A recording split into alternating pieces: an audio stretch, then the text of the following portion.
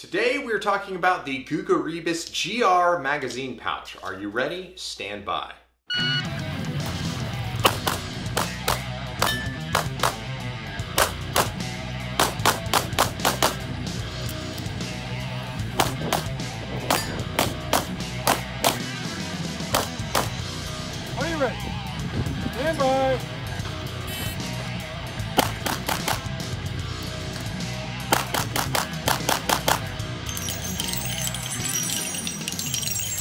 Welcome back to the Humble Marksman channel. I'm David and I'll be your guide in pursuit of practical pistol proficiency.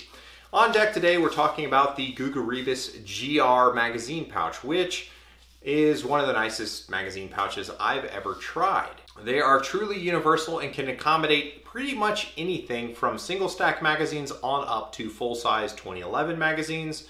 There are spacers that can go on either side and the rear so you can put pretty much any sort of magazine on there. They're super adjustable. They have a ball joint that they're mounted with so you can make the angle be exactly what you want it to be. And they are just really, really well thought out and well designed. If you're not familiar with my channel, I like to cry about things. Since I like these magazine pouches so much, I know that they're not going to be offended when I say not nice things about them. So I'll start with the, some of the things that I don't like about the magazine pouches. The weight. These suckers are super duper heavy. You can take the ones off when you don't need them. So if you're shooting a high cap division and you don't need four magazine pouches on your belt, you can just take the extra ones off and leave them in your bag with your extra magazines and just use the ones that you need while you're shooting.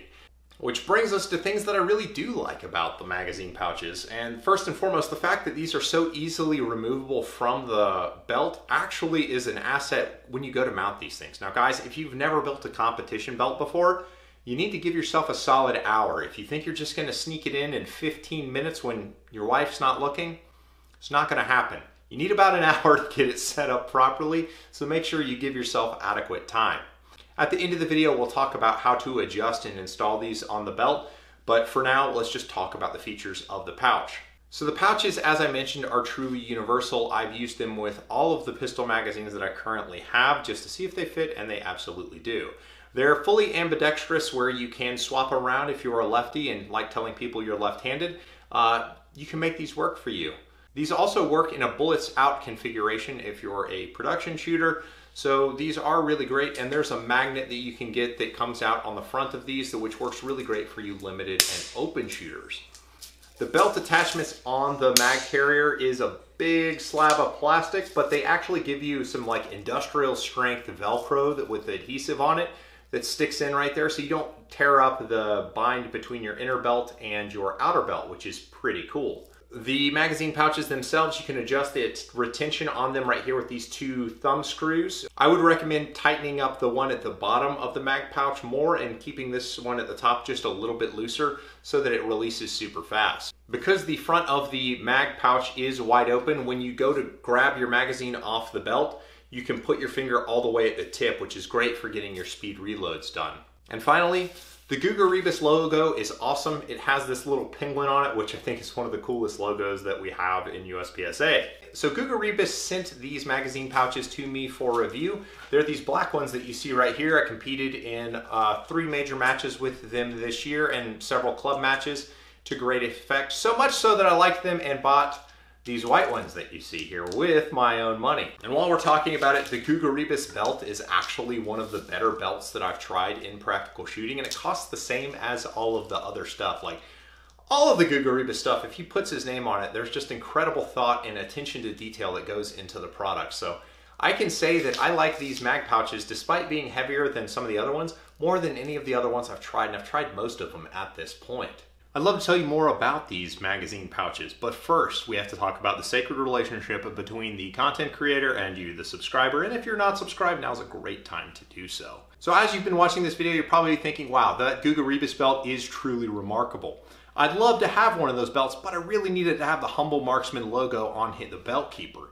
So you reach out to Guga Ribas and you insist, you demand that he makes competition belts that feature my logo so that all of the competitive shooting world can know of the world-class firearms content here on the channel.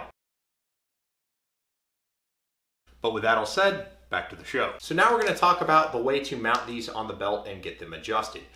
When you know what you're doing, it takes just under about seven minutes per pouch to get them mounted. So I'm gonna walk you through that now. First thing you're gonna wanna do is loosen the thumb wheel and remove the mag pouch from the bracket that attaches to the belt. Next, you'll loosen the four screws on the belt and get the bracket slipped on roughly in the spot that you want it to be and then you cinch it down on the belt. Next is talking about getting the ball joint adjusted. So the first thing you're gonna do is reduce the tension on these two screws right here almost to the point that they disengage. Just a few threads of engagement so that the pouch is held together. You're gonna use the Allen key with the short arm, extra short, to loosen these two screws on the inside of the pouch here. You're gonna put the mag pouch back on your belt and you're gonna turn it around until you get the angle that you think you want your magazine pouch out.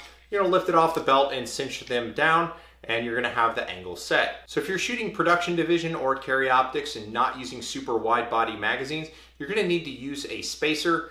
The spacer fits inside the outer face of the holster. So you'll push the nut into the little nut shaped hole, line up the hole, and put the little screw in at both the top and the bottom and cinch it down. Mount the whole thing on the belt, tighten down the thumb wheel, and then use the grub screws to set the retention.